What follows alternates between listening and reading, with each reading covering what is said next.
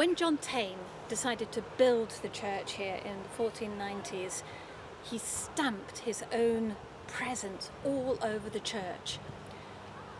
His coat of arms is a dragon and a lion facing each other, and they could be seen all over the church. But not only did he stamp his own sign all over the church, he sought to connect himself to the history of the area. 1479 he took the lease on this place from Edward IV.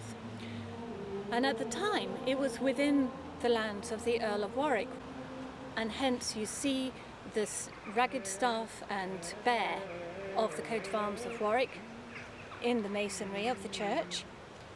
Going back further, the lands were part of the Earl Earldom of Gloucester.